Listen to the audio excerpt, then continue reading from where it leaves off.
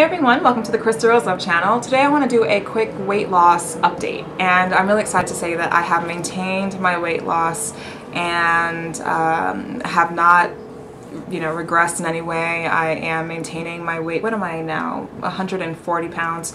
I am 5'7", and I wear a dress size 6 and pant size 4. So that's actually smaller numbers than what you heard when I um, when I finished the weight loss challenge that I did for the last like five or so months. So yeah, my pant size dropped from a size 6 down to a size 4. So I, I actually had to go through like a whole wardrobe change, which is actually the, the fun part. I guess a little bit of a pricey part of weight loss is now it's like, oh, you go to your wardrobe and there's nothing there that you can wear without looking extra baggy in your clothes and it look just it's just really awkward. So yeah, I had to go shopping and that was a fun experience and actually being able to um, see the progress of the weight loss with clothes is such a remarkable thing to witness when you're in the fitting room and you're trying on, you look at the tag and you're like, is this serious? Like a size six dress? Okay. Or like a size four pants? Okay. I, I'm assuming this fits. And I remember actually even just my reaction when I was in a fitting room and I remember going to the rack thinking, okay, I'm a size six pant.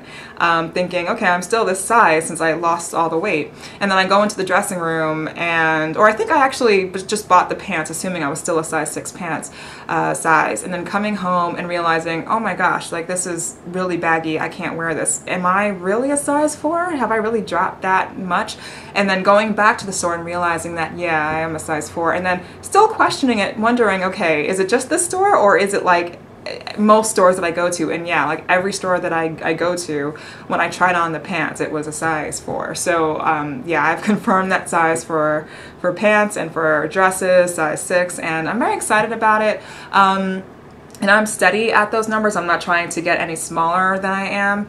And um, overall in terms of my dietary regimen and stuff I'm not um, I'm not doing anything particularly special. I'm just a little cautious of, um, of the things that I'm eating, but I don't completely take anything out of my dietary regimen. Like I still like to occasionally indulge in like fast food and stuff like that, but I do like to make sure that I get a balanced diet, um, but also treat myself from time to time. Uh, and I can talk more about that in another video, but I just want to give you guys a quick update as to where I stand with my, with my weight loss um, and how I'm coming along with it. So I'm in full maintenance mode and it's a great mode to be in.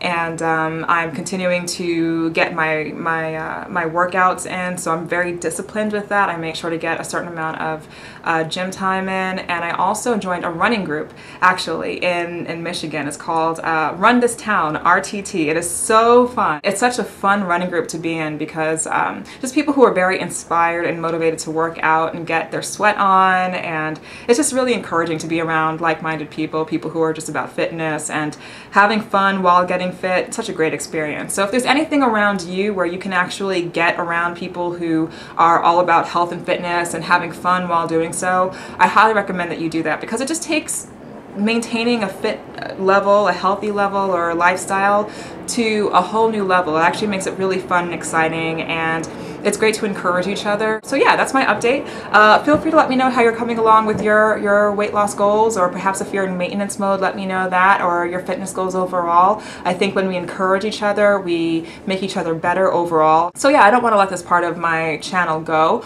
I want to make sure that I continue talking to you guys about this and also let me know what topics in particular you want me to talk about when it comes to living a healthier lifestyle uh, with weight loss, with changing how you eat. Just let me know what topics uh, in the comments below and that will help me gauge what topics to cover on the Krista Rose Love channel going forward with this particular topic area. All right, thanks. I have more videos on the way, so stay tuned.